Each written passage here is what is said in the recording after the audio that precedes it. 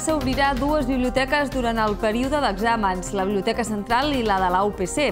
És l'acord al qual ha arribat l'equip de govern i l'oposició després de més de dues hores de debat intens durant la Comissió de Cultura. Amb dos equipaments, però, obriran únicament com a aules d'estudi sense servei de préstec. Hola, què tal? Molt bona tarda. Parlarem d'aquest intens debat i de més temes que s'han tractat en aquesta Comissió de Cultura i Projecció de la ciutat, però també coneixerem la nova etapa que engega per Vallès. L'espai fa un cop de timó cap al comerç i canvia la seva imatge. Nike Factory Store, Mango Outlet, 50 Factory, l'Star Gym Paddle Club, Thai Ride Road i properament Don Canino són les darreres incorporacions a la zona comercial del Grupo Pradera.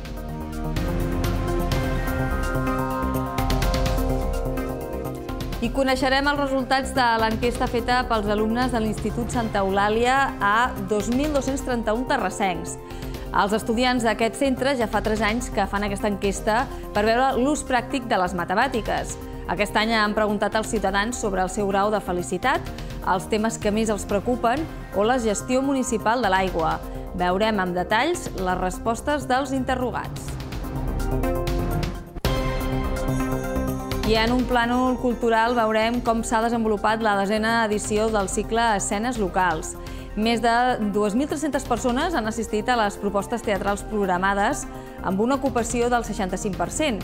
El nombre d'espectadors ha baixat respecte al 2015. 14 companyies hi han participat.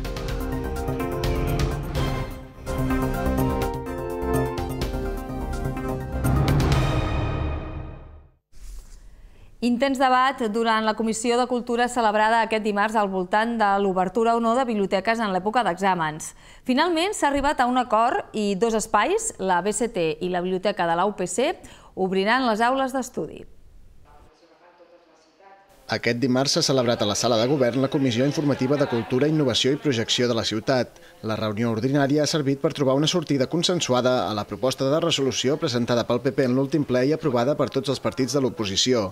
Després de més de dues hores de debat intens, tots els partits municipals han trobat la fórmula de l'acord per obrir dues biblioteques de la ciutat durant els períodes d'exàmens. Es tracta de la BCT i de la biblioteca de la UPC, tot i que l'acord ha deixat alguns interrogants, està previst que amb dos equipaments obrin únicament com a aules d'estudi, sense oferir servei de préstec ni de consulta bibliogràfica. L'opció inicial que els informes tècnics s'han presentat descartava l'obertura de biblioteques municipals, degut a l'alt cost que suposava el manteniment de personal bibliotecari qualificat. En aquest sentit, l'equip de govern plantejava donar el servei d'estudi nocturn a través d'un conveni negociat amb la biblioteca del campus de la UPC, tots els grups de l'oposició han insistit en la seva voluntat de donar cobertura no només als alumnes universitaris, sinó a tots els perfils d'estudiants de la ciutat. Una altra de les reclamacions del bloc opositor ha estat el d'oferir el servei a través de la BCT, pel seu caràcter central i de referència. A partir d'aquestes premisses, els partits i l'equip tècnic han contemplat l'opció d'obrir la Biblioteca Central sense la figura d'un bibliotecari, descartant així els serveis de préstec i de consulta però abaratint els costos de forma substancial. La proposta ha vist finalment la llum i els representants de la comissió han acordat fer una prova pilot durant el proper curs. Durant aquesta fase d'avaluació, la BCT obrirà fins les 12 de la nit en les setmanes de més demanda per part dels estudiants, durant un període simultani corresponent a 4 mesos. Per la seva part, la Biblioteca de la UPC obrirà les portes a tots els estudiants universitaris locals i oferirà el servei nocturn d'aula d'estudi durant tot el curs. Es calcula que el cost total d'aquesta iniciativa ascendirà a 19.000 euros l'any, 12.000 de la BCT i 7.000 de la Biblioteca de la UPC aproximadament. D'altra banda, la Comissió de Cultura ha aprovat a l'aval ple l'acord de col·laboració entre l'Ajuntament i la xarxa mundial de ciutats i governs locals units. Aquest projecte, corresponent a l'Agenda 21 de la Cultura, persegueix l'objectiu d'implementar el programa de Ciutats Pilots 2015-2017 a Terrassa i han votat a favor el PSC, Convergència i Ciutadans, mentre que la resta de grups s'han abstingut. El nou Parc Vallès s'ha presentat en societat. El popular centre d'oci situat a la zona sud de Terrassa estrena 17.000 metres quadrats de superfície destinada al comerç. Això és més del triple de la que tenia fins ara. Parc Vallès canvia de cara. La conversió d'una part de la superfície d'oci a àrea comercial és ja una realitat després de les obertures de Mercadona fa dos anys i del Mediamarkt al setembre. La superfície destinada a comerç ha passat dels 5.000 metres quadrats als 17.000. El grup Pradera ha oficialitzat aquest dimarts el canvi d'etapa amb una nova imatge. El sol i la lluna deixen pas a una B baixa de colors verd i taronja i en forma de cor. A la vegada els edificis ara són majoritàriament de color negre. La festa ha servit per fer visible el recent desembarcament a Parc Vallès de Nike Factory Store, Mango Outlet i 50 Factory, i també l'Star Gym Paddle Club, un gimnàs de més de 7.000 metres quadrats i que inclou 6 pistes de paddle interiors. L'oferta de Parc Vallès es completa amb 6.600 metres quadrats de restauració i el cine amb 20 sales, una de les quals és la més gran de Catalunya. Pradera confió y confía en Parc Vallès, en la ciudad de Tarrasa y en su comarca, el Vallès Occidental, en el gran número de que, ella, en ella residen y su potencial para generar riqueza. Sabiendo que había que renovar Parvallés y tomando no pocos riesgos, pusimos en marcha un plan. Un plan que transformara el centro en un lugar de compras, encuentro i experiència moderno. M'agradaria cada trimestre, com a mínim, poder assistir a un acte com aquest perquè això significaria ni més ni menys que la ciutat s'està movent i que s'està movent a nivell econòmic. I moure's a nivell econòmic no és res més que generar ocupació. I generar ocupació no és res més que sortir de la pobresa. I sortir de la pobresa és que d'una vegada per totes tots puguem començar a viure millor. La transformació de Parc Vallès ha anat acompanyada d'una inversió de 8 milions d'euros per part del grup Pradera en la millora dels accessos i la mobilitat. S'han ampliat els carrils bici, s'ha millorat la freqüència d'autobús i s'ha fet una nova semaforització. Les noves obertures de Parc Vallès han generat 180 nous llocs de treball. Els responsables de Parc Vallès calculen que el 2016 es tancarà amb el 100% de la zona comercial ocupada. En tot el 2015 van passar pel parc 6 milions de visitants. I es coneixen els resultats de l'enquesta que ja fa 3 anys que fan alumnes de l'Institut Santa Eulàlia. Aquest any els estudiants han preguntat per la situació econòmica, els problemes que creuen que té la ciutat o el grau de satisfacció de viure a Terrassa. El 70% dels terrassencs se sent força o molt satisfet de viure a Terrassa, atorgant a la ciutat una nota mitjana de satisfacció d'un 7,2. Aquest és un dels resultats de l'enquesta Percepcions de la ciutadania feta per 250 alumnes de l'Institut Santa Eulàlia. Aquesta iniciativa va sorgir del Departament de Matemàtiques del centre amb col·laboració de l'Observatori Econòmic i Social de la Sostenibilitat de Terrassa i ja fa 3 anys que es realitza. Fer les preguntes i analitzar les respostes permet als alumnes veure l'ús pràctic de les matemàtiques i alhora endinsar-se en el coneixement de la ciutat, la seva gent i la seva activitat. Entre altres qüestions plantejades aquest any a 2.231 residents de la ciutat hi havia el seu nivell de felicitat, que els encastats han qualificat amb un 7,47 sobre 10. Un 23% considera l'atur el problema més greu que té Terrassa seguit de la neteja. La manca de feina i les condicions de treball també és la qüestió que més afecta personalment els encastats. Respecte a l'estat de l'economia, un 53% el qualifiquen de dolent o molt dolent i un 33% creu que la seva situació econòmica ha empitjorat en l'últim any. Els alumnes també han interrogat sobre dos temes relacionats amb l'actualitat local, com la gestió de l'aigua i l'ús dels mitjans de comunicació públics. El 70% dels qüestionats sap que Mina és l'empresa que gestiona el Servei Municipal d'Aigua, però prop del 40% creu que és pública i un 23% no sap si és pública o privada. La majoria tampoc sap que aquest any acaba el contracte de concessió a Mina. Pel que fa a la factura de l'aigua, un 61% no coneix els conceptes que s'inclouen.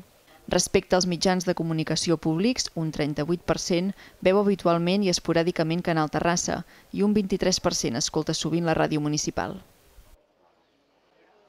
I continuem amb més resultats, en aquest cas els del màster de cinema de l'ESCAC. El curs ha donat pas al rodatge de sis pel·lícules que estan en diferents fases de producció. Inicialment han estat finançades per l'escola, però després s'han anat desenvolupant segons cada projecte. Sis pel·lícules. És el resultat final del màster oficial de cinema que ha cursat aquest any l'Escola Superior de Cinema i Audiovisuals de Catalunya, l'ESCAC, amb seu a Terrassa. En un acte celebrat dimarts a la fàbrica Moritz de Barcelona, els responsables del centre de la plaça de la Farinera han presentat els fruits d'una nova experiència formativa que es traduirà en sis pel·lícules de creació i producció de la mateixa escac. Els sis títols, que estan en diferents fases de producció, han estat finançats inicialment amb recursos de l'escola, però cadascun d'ells ha tingut un model de finançament d'acord amb la necessitat del projecte. Així, n'hi ha que són coproduccions amb participació d'administracions públiques, cadenes de televisió o altres plataformes i d'altres que tenen agenda de vendes internacionals. Una mica la proposta inicial va ser agafar 36 nois, 360.000 euros, intentar fer sis pel·lícules. Evidentment, de les sis, n'hi ha hagut algunes que s'han fet amb 50-60.000 euros, però n'hi ha algunes que s'han fet amb, per sobre el milió. Llavors, el sorprenent, finalment, és que els mateixos nois s'han decidit què era aquest projecte i fins on arribava. I, de nou, la sorpresa és que de les sis pel·lícules pensem que finalment, eh, molt probablement, totes elles acabaran veient al mercat. Les pel·lícules que han sorgit de la primera edició del Màster Oficial de Cinema de l'ESCAC són La otra casa, d'Ignacio Tatay, Para no desaparecer, de José de Linares, Mi querida cofradía, de Marta Díaz, Salvación, de Denis Castro, Blu-ray, de Pedro Abreu i The Girl from the Song, d'Ibai Abad. A més de director o directora, totes compten amb director de producció, de fotografia i de muntatge formats al màster. El director de l'ESCAC, Sergi Casamitjana, ha anunciat que el 2018 tindrà lloc la propera edició del Màster Oficial de Cinema.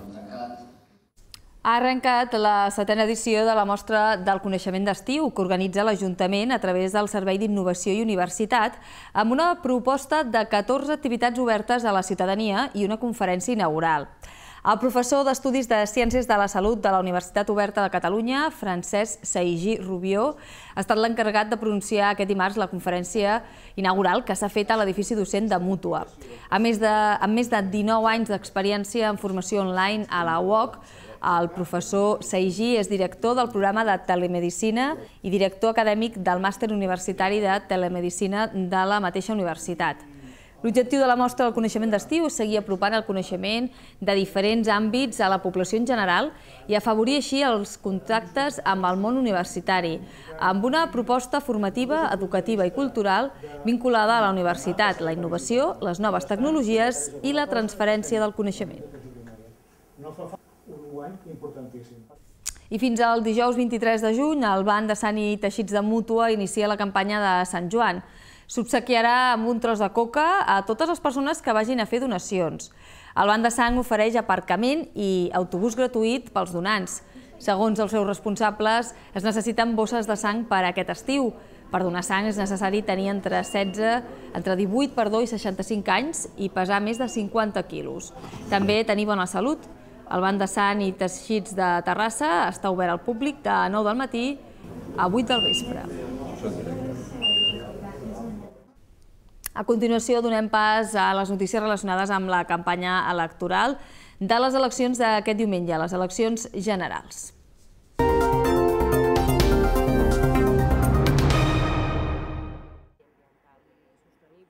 Un nou model social, econòmic i ecològic per superar una crisi provocada per les polítiques neoliberals. Aquestes són les línies mestres d'en Comú Podem en matèria de sostenibilitat. Per aconseguir-ho, diuen cal fixar noves prioritats que solucionin els problemes socials i ambientals. Asseguren que derogaran el Pla Hidrològic de l'Ebre i impulsaran una gestió pública democràtica i no lucrativa de l'abastament de l'aigua. Agnès Petit, candidata candidata de la Confluència ha dit que el 84% dels catalans paguen una tarifa un 25% més cara que la mitjana. Per això, aquest acte de campanya s'ha fet davant les portes de Mina. Ens comprometem a blindar legalment el caràcter públic de la gestió de l'aigua, eliminar la figura de, del cànon de concessió, donar suport als processos de remunicipalització de l'aigua a través d'equips jurídics i tècnics que puguin acompanyar i assessorar els municipis, introduir ampliant els òrgans de decisió la veu dels col·lectius socials i dels veïns i de les veïnes per avançar cap a una gestió molt més democràtica de l'aigua. Petit també recull la petició de la PA de no tallar el subministrament d'aigua a cap llar que no pugui pagar el rebut i garantir un mínim de 50 litres per persona i dia, entre moltes altres coses.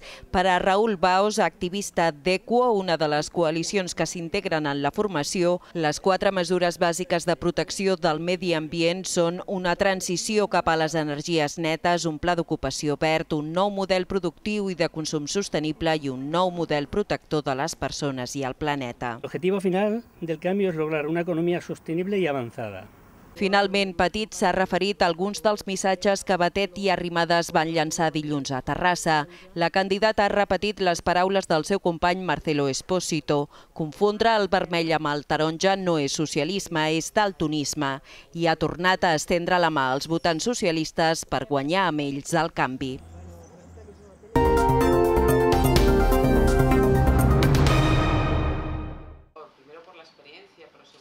El PSC ha explicat les polítiques d'igualtat que incorpora el seu programa electoral a la Biblioteca del Districte 2 a Can Anglada. Ho ha fet la regidora de Polítiques d'Igualtat i LGTB a l'Ajuntament, Lluïsa Melgares. Melgares creu que en aquests anys de govern del PP hi ha hagut un retrocés en matèria d'igualtat i que han faltat recursos per aplicar les lleis aprovades per governs socialistes, com la llei de la dependència. El PSC proposa un pacte integral per la igualtat i un pacte que passa per una de les, diguéssim, de, de les mesures que poden ser més importants i que poden ser un punt d'inflexió en la nostra educació dels nostres joves, que és incloure una assignatura d'igualtat eh, des de primària fins a la universitat. El programa socialista també contempla una nova llei de delictes d'odi per protegir la diversitat sexual i l'obligatorietat que les empreses tinguin plans d'igualtat perquè les dones tinguin eh, les mateixes possibilitats d'accedir a postos de treball, però també a postos de direcció, i així com prohibir totalment que, que existeixi aquesta bretxa salarial que existeix entre dones i, i homes. Entre les mesures per millorar la conciliació familiar, el PSC proposa ampliar el permís de paternitat i que sigui no transferible, és a dir, d'obligat compliment.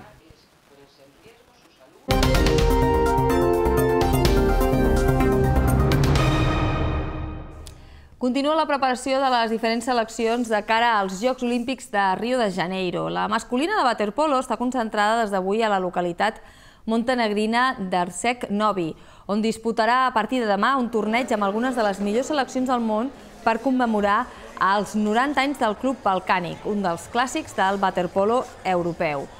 La llista de 16 jugadors elaborada per Gavi Hernández inclou els tres jugadors del Club Natació Terrassa, que s'han estat preparant aquests dies al CAR de Sant Cugat. El porter Iñaki Aguilar, Ricard Alarcón i Álvaro Granados.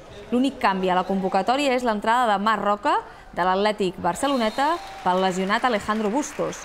Aquest torneig serà un bon banc de proves per a l'equip espanyol, ja que els seus rivals seran Montenegro, amb qui debutarà demà dijous Hongria i Croàcia. La preparació d'Espanya inclou més endavant un nou torneig a Sèrbia.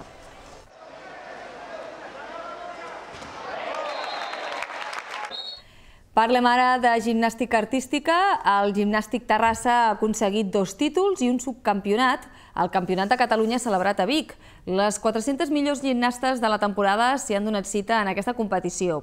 Clàudia Villalba i Marta Sánchez s'han alçat amb el títol, mentre que Laura Gamell ha quedat segona. Vic va acollir el passat cap de setmana el Campionat de Catalunya individual de gimnàstica artística femenina que va plegar les 400 millors gimnastes de la temporada. Entre els clubs participants, el Gimnàstic Terrassa va obtenir uns grans resultats. En via olímpica, Clàudia Villalba es va proclamar campiona de Catalunya a la vi, mentre que Clara Navarro va finalitzar tercera, confirmant així la seva progressió en el seu debut en aquest nivell.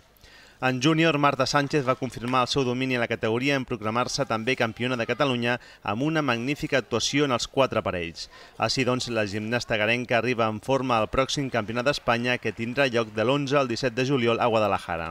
Finalment, a nivell sènior, Laura Gamell va aconseguir un meritori subcampionat després d'una temporada molt irregular per les lesions. Gamell va realitzar una gran actuació en tots els aparells de simètriques. En categoria absoluta, que comprèn els nivells des d'infantil fins a sènior, el triomf va correspondre a Anna Palacios del Santmenat, seguida de Sánchez i Gamell. El White Padel Festival ha tornat a ser un èxit de convocatòria. Un total de 234 jugadors han participat en aquest torneig disputat a l'àrea olímpica i que pretén integrar la gran acceptació que té l'esport del pàdel amb un esdeveniment social, en una festa oberta a tots els socis.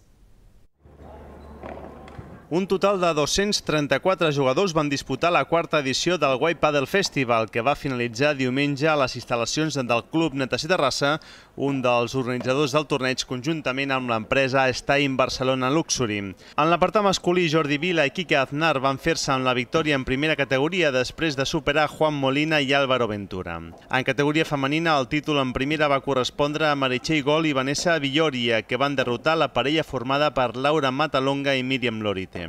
En categoria mixta, la final de primera resta pendent de celebrar-se, mentre que en segona la victòria va correspondre a Elena Donate i Adrià Prado.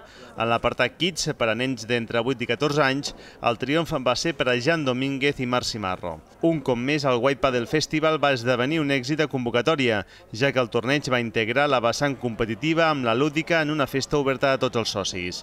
Així doncs, la plaça Dura va acollir un village amb una àmplia oferta gastronòmica. També es va habilitar una zona d'oci que va incloure futbolí, darts i ping-pong, així com bicis estàtiques perquè els jugadors poguessin escalfar abans dels partits. Guanyar la prova en la seva categoria i quedar entre els tres primers de la general. Aquests són els objectius que s'ha marcat Juan Antonio Miranda a la segona prova de la Copa d'Espanya Classic and Legend, que es disputa aquest proper cap de setmana al circuit Motorland Aragón del Canyís. El pilot agarent ha fet algunes modificacions al seu vehicle, el BMW M3 GTR de 300 cavalls, per tal de millorar les seves prestacions en aerodinàmica i potència i adaptar-se així al circuit molt més tècnic, que és el de Montmeló.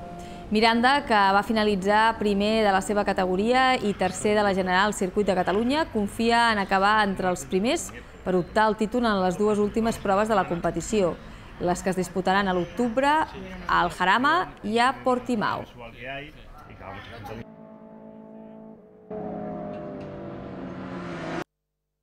Ha habido cambios en el coche, queremos mejorar y yo creo que podemos hacer un buen papel.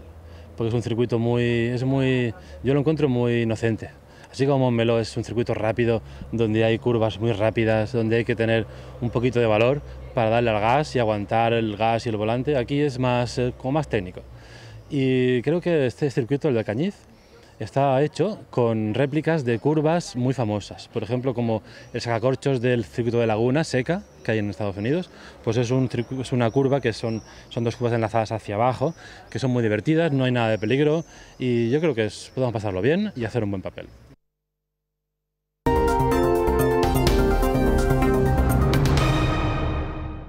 La desena edició del cicle Escenes Locals ha finalitzat amb un balanç de més de 2.300 espectadors. Les propostes teatrals programades han tingut un 65% d'ocupació. 14 companyies hi han participat.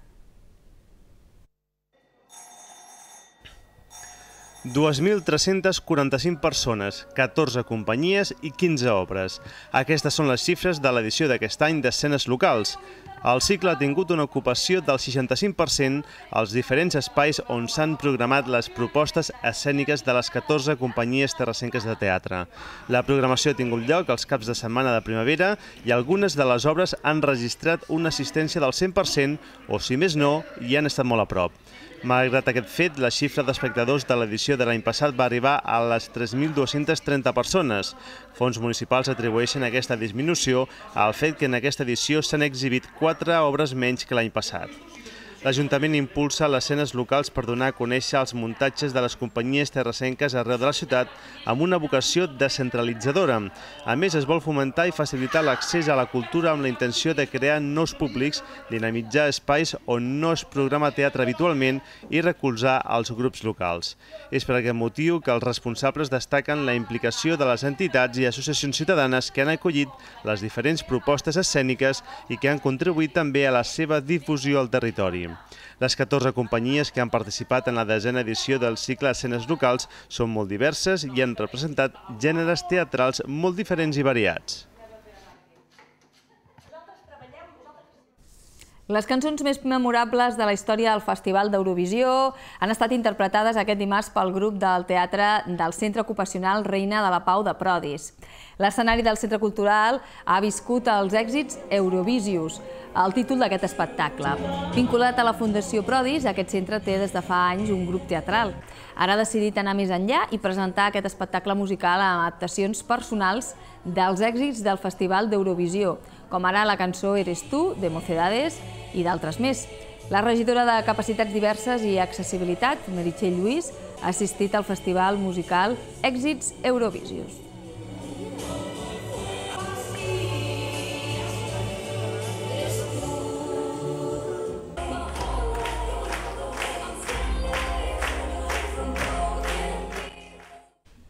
El Centre Cultural de Terrassa acull fins al 26 de novembre la tercera sèrie de l'artista Romà Vallès, anomenada Geometria i Informalisme.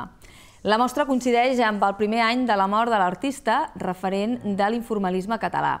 Conxita Oliver, membre de l'Associació Internacional de Crítics d'Art, és la comissària d'aquesta mostra que recull una vintena d'obres pintades entre el 1968 i el 1969, en el qual Vallès busca un nou ordre constructiu.